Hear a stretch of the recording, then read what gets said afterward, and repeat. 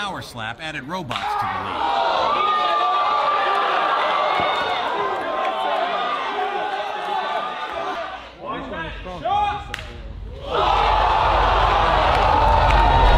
अभी आप जो वीडियो देख रहे थे, उसमें किसी तरह का रोबोट नहीं था, बल्कि वहाँ एक नॉर्मल इंसान था, जिसे एआई की मदद से वीडियो में एक 3D CGI कैरेक्टर से बदल दिया गया ये कमाल था वंडर शेयर के स्टूडियो एआई का जिससे आप किसी भी वीडियो के लोगों को बस ड्रैग एंड ड्रॉप की मदद से रिप्लेस कर सकते हो।